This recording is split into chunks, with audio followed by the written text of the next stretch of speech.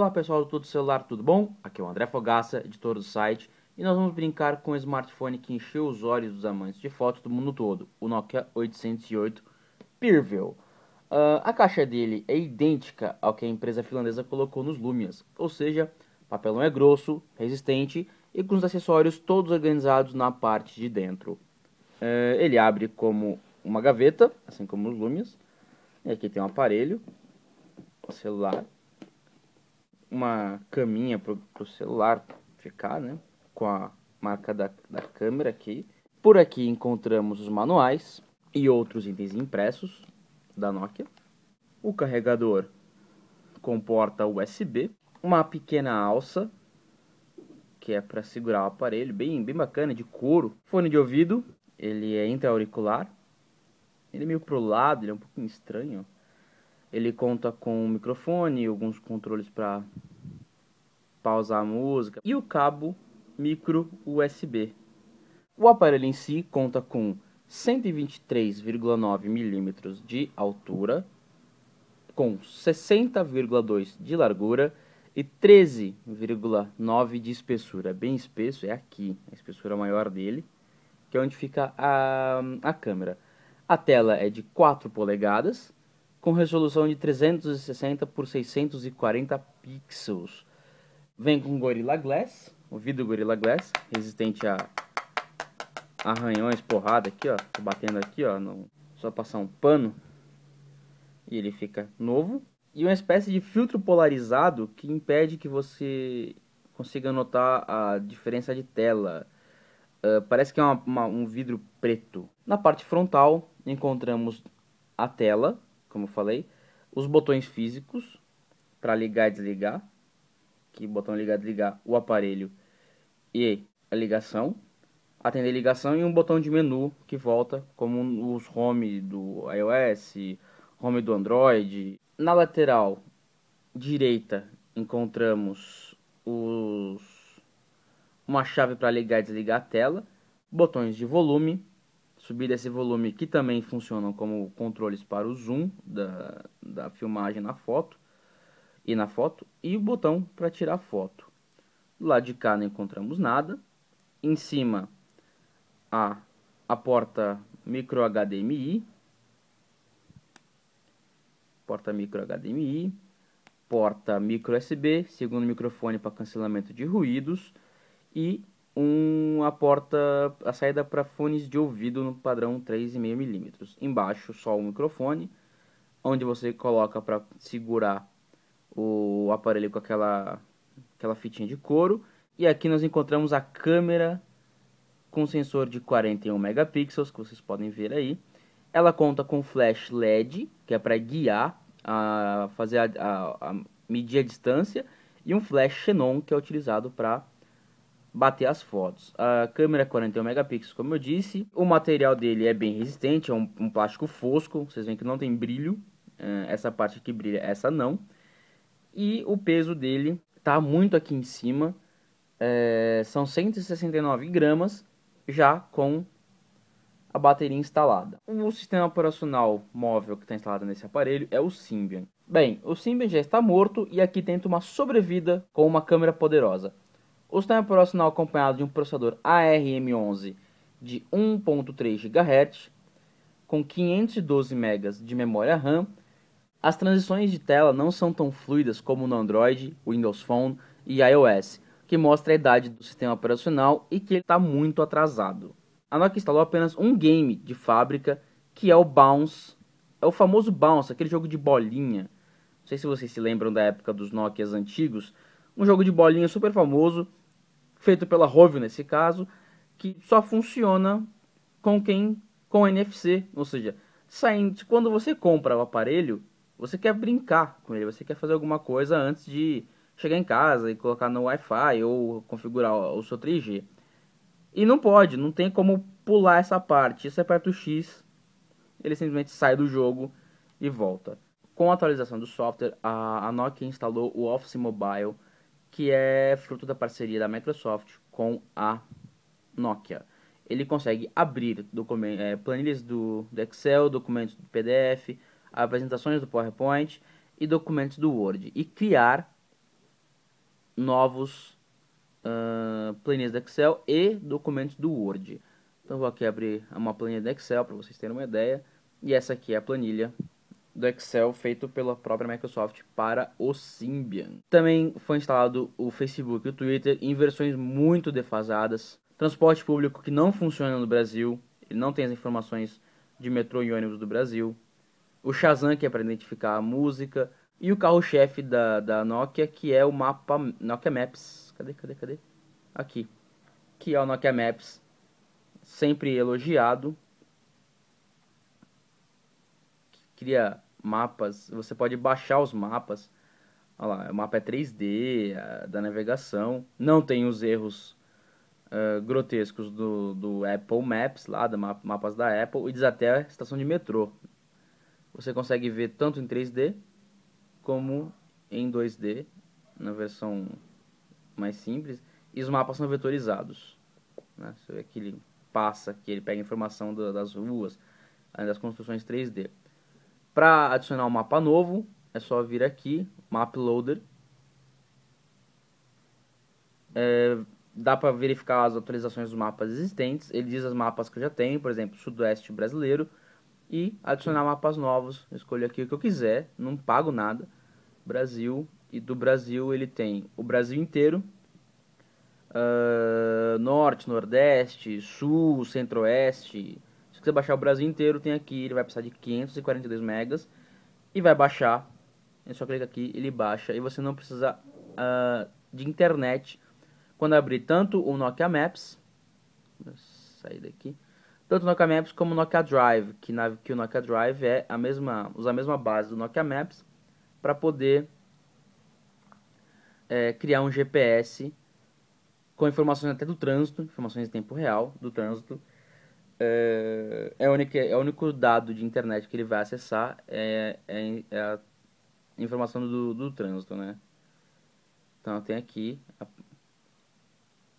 o verdinho, o trânsito está livre, o, o, laranja nem tanto. E aí ele faz aquela visão 3D de um GPS tradicional de carro com os botões grandes. O tocador de músicas da Nokia é bem simples, é, ele pega a, a, a, foto do álbum, informações, por exemplo, da, tem aqui o nome das músicas. Uh, nome do álbum, nome da, do artista, enfim. Eles têm como passar as músicas fazendo isso aqui. Ele é um, sai um pouquinho quadrada, ah, por exemplo, olha lá, bem quadradinho, algo que não acontece no iPhone, no iPhone e nos Androids, talvez alguma limitação de sistema, do sistema do Symbian, que é bem atrasado, já é bem antigo. O player de vídeo é bem completo, ele roda, ele rodou qualquer é, resolução, a gente testou aqui 1080p, 600p, 480p, e ele também rodou arquivos MKV com legenda externa em 720p, o que é muito bom. Então vou rodar aqui um trailerzinho em Full HD para vocês verem que ele reproduz sem problema algum.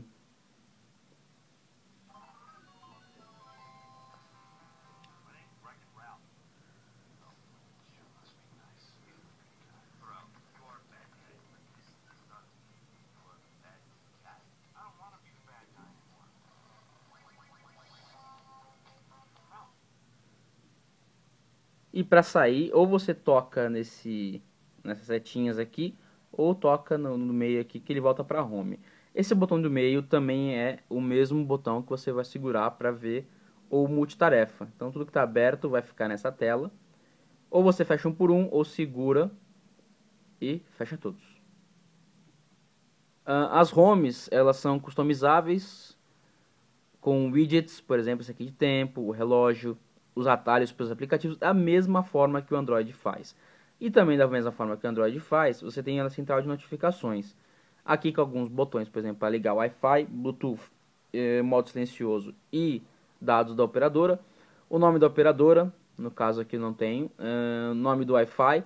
E aqui embaixo ficam as notificações de ligações perdidas, mensagens recebidas, só que sem o número do telefone de quem te ligou. Ou seja, você tem lá uma ligação perdida, você tem que tocar e abrir. Um pouco chato, poderia dizer que já quem me ligou não precisava entrar em outra tela para depois ligar de novo de novo para a pessoa. Esse aparelho não conta com os jogos mais recentes, como Dead Trigger e outros por aí que já lançaram para Android e iPhone e até Windows Phone. É, mas conta com Angry Birds. E o Angry Birds é gratuito. A Nokia colocou ele gratuito por 30 dias. Um packzinho de aplicativos e jogos. E Angry Birds está no meio. O jogo completo. É o mesmo Angry Birds que você já encontra no Android, no iOS, no Windows Phone, Blackberry. E qualquer outro lugar aí que a gente conhece. Só que é a versão antiga do Angry Birds. Sem aquelas animaçõezinhas novas. Então, mais uma, uma prova de que as coisas aqui não vão ser atualizadas com tanta rapidez ou sequer serão atualizadas porque o sistema operacional já não é tão atraente assim. O navegador é um navegador muito fraco. Para um celular que custa dois mil reais, eh, eu esperava um navegador muito mais veloz, muito rápido para carregar as páginas. Por exemplo, eu digitei aqui o, o nome do celular, mas não, ele não carrega, ele não entra, mesmo tocando no histórico. Eu tenho que apertar o Enter. É um recurso não tão inteligente que a Nokia resolveu manter no, no Nokia Bell, que é o nome do, do Symbian hoje em dia. E aqui está o site. Então, vê que ele não é tão fluido assim. Ó. Ele fica meio quadriculado quando vai abrir, demora um pouco para renderizar a página. Uh, travou de novo. Ó. Tá vendo? Ele, ele é um pouquinho lerdo. É, não, não é dos melhores. Por fim, a câmera. A gente falou da câmera e não mostrou o que ela pode fazer. Para ligar, só segurar aqui o botão aqui em cima. Colocar aqui um Moleskine do Angry Birds. Foca! Aí. Uh, assim como o iPhone e alguns Android, você consegue focar tocando onde você bem entender na tela é um recurso muito legal, recurso que é, é bem simples de usar. E aqui você tem algumas configurações. Por exemplo, a tecnologia que eu escolhi para do sensor é PureView, que é aquela que ele reúne mais de, de mais, vários pixels num pixel só e gera uma imagem de 8 megapixels com muita, muita, muita qualidade de imagem. Aí você pode escolher 5 ou 2 megapixels. Ou resolução completa, que são os 38 megapixels para foto em 4 por 3, a proporção, e 34 megapixels para foto 16 por 9. O arquivo fica muito grande e a, o nível de qualidades é baixo, então é, é, muito recomendado que você toque no Peer View e fique por lá mesmo. Aqui você mexe na qualidade da foto, uh, colocar cor, cores, você coloca cores, filtros né, na, na na imagem, o tipo de, de capturação, ó, saturação, contraste, enfim, modos de cena, que você escolhe macro, automático, esportes, uh, e tudo no automático, e ele se, se vira para conseguir tirar a foto. Então vamos lá, tirar uma foto aqui.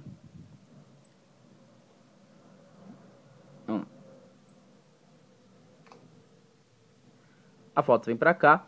Pra vocês terem ideia da qualidade, uh, esse detalhe aqui, ele tá ali, ó. Ele tá aqui no cantinho e ele foi captado pela câmera com a tecnologia Peer View. Muito próximo,